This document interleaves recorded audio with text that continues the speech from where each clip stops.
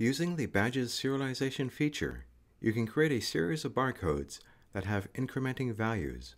As an example, consider this design, which is typical for a Vehicle Identification Number VIN label. The barcode has a caption, VIN code, which has been placed above the barcode. From the Edit menu, choose Select All.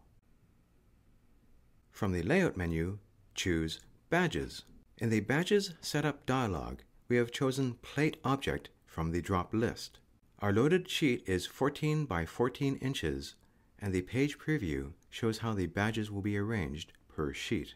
In the Replaceable Items list, we click VIN code, which is the barcode value that will be variable. Note that we are creating 100 badges, which requires this many sheets of material. Click OK to continue, and the text substitution dialog will open. For the first entry, we paste the starting value that the customer gave us.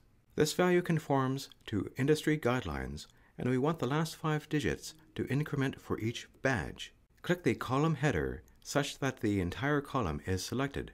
Then click the Serialization button, which opens the Serialize dialog. In the Start field, sweep select to highlight the last five digits, and then click the Set as Base button. We set increment to 1 and the repeat value to 1. Note that we define the base as being numeric, and this field corresponds to what we highlighted. These settings are good, so we click OK to update the VIN code values in the text substitution dialog.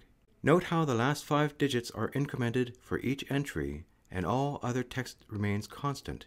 Click OK and the badges will be created. And here are the resulting badges, including their updated barcode values. In the Sheet Page palette, we can browse through each page of badges to confirm the layouts.